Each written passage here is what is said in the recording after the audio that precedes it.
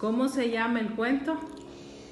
Rita la conejita, ¿De qué era el pastel que estaba haciendo la conejita Rita y su mamá? eh, de zanahoria, ¿Cuántas zanahorias agarró la conejita Rita sin permiso de su mamá? 5 ¿A dónde las escondió?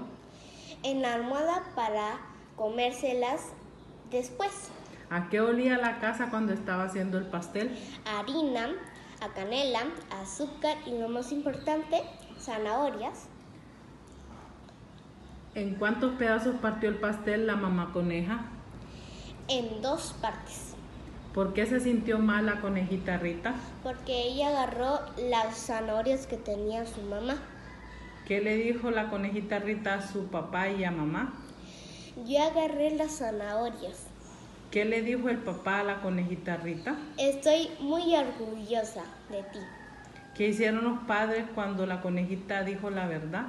La abrazaron, ¿Qué valor aprendió la conejita Rita? em, el valor de la honestidad y dijo toda su verdad.